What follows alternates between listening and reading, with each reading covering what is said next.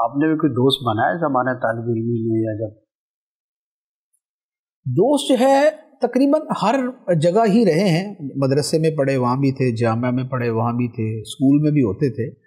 लेकिन उस ज़माने के अंदर दोस्त यूँ समझने के जैसे जस्ट एक रवाज दुनिया है के दोस्त होते हैं।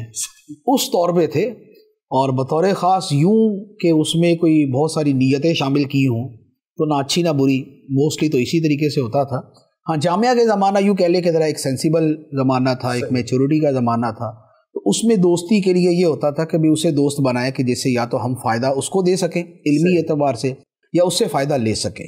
तो उस वक्त फिर दोस्तियों का अंदाज ये था। और अब जो है अब ज़रा ज़्यादा सिलेक्शन हो गई है। अब तकरीबन तकरीबन ऐसा ही होता है कि दोस्त उसी को बनाए कि जिससे या तो दीनी फ़ायदा उठा सकें या दीनी फ़ायदा उसको दे सकें।